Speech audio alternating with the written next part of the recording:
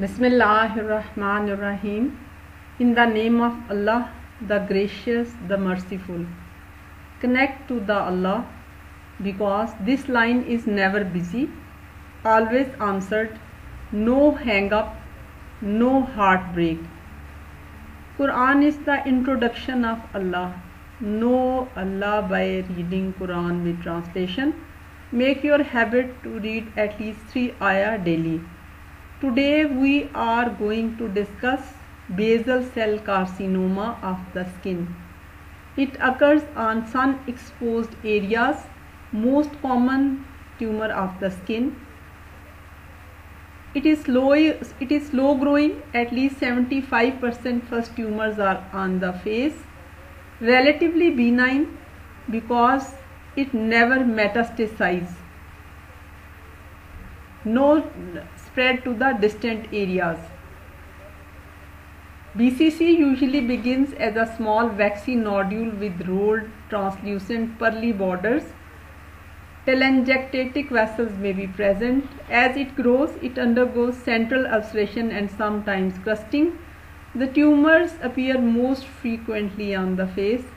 BCC characterized by invasion and erosion of adjoining tissues and rarely metastasize, but recurrence is normal.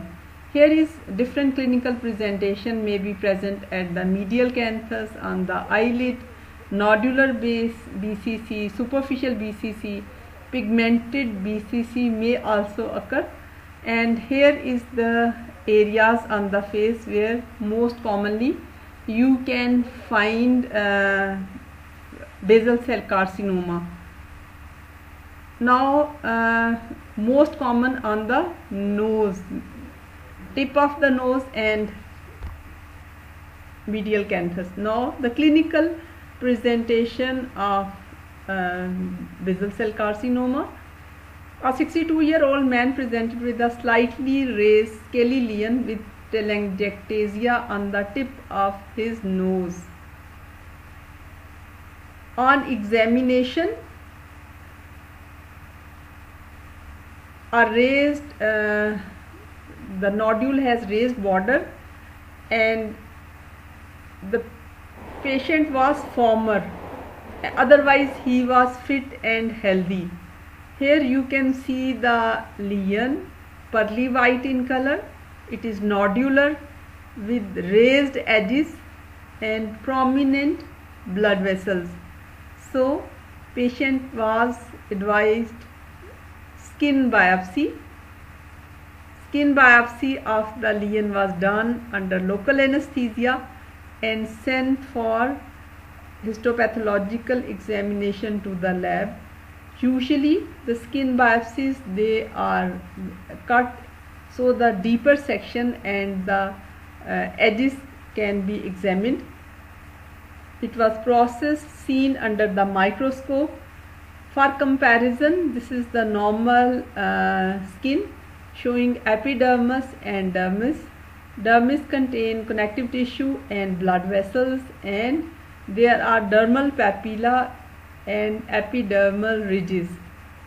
But in case of uh, basal cell carcinoma, you can find tumor nests in the dermis covered by epidermis these are basaloid cells because basal cell carcinoma arise from basal layer of the epidermis.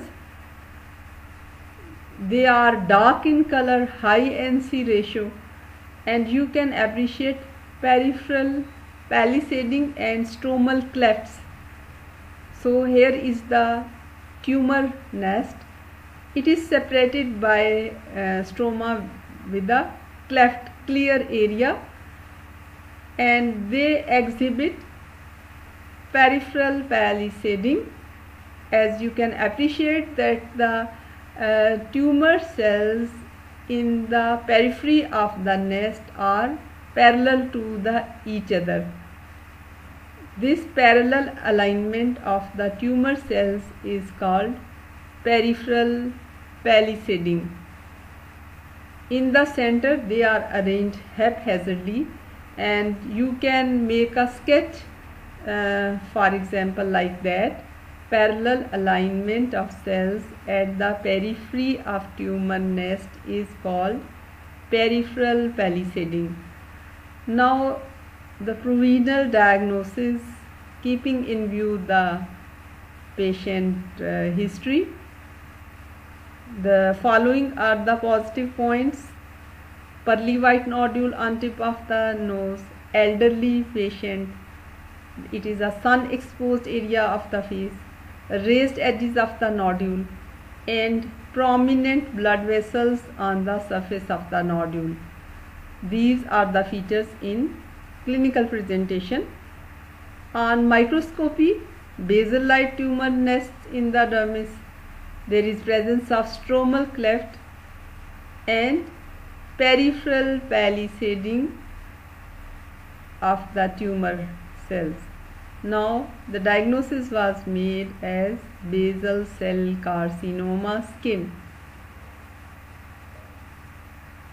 I hope you have enjoyed watching this video. Thank you for watching.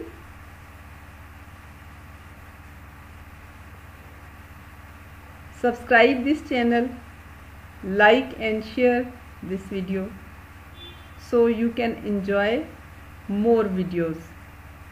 Thank you again.